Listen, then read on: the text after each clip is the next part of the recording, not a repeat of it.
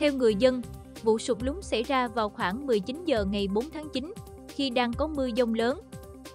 Thời điểm này, nhiều người phát hiện hàng cây, trụ điện ven đường Hoàng Văn Thụ, thành phố Quy Nhơn, tỉnh Bình Định tiếp giáp dự án chung cư Phú Tài hai sụt dần xuống, kèm theo tiếng động ầm ầm.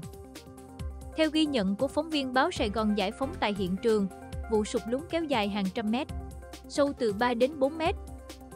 Dọc tuyến đường, lực lượng chức năng đã giăng dây cảnh báo để đảm bảo an toàn cho người dân. Một người dân ở gần hiện trường cho biết, nhiều ngày trước, tại dự án chung cư Phú Tài 2 có thi công cống thoát nước, cống sâu sát đường Hoàng Văn Thụ.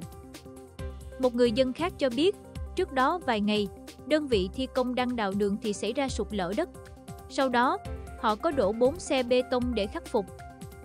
Theo đại diện điện lực ở thành phố Quy Nhơn, vụ sụp lở đất khiến cho trên 500 khách hàng ở dọc đường Hoàng Văn Thụ bị mất điện và nhiều trụ điện, trạm điện bị hư hại.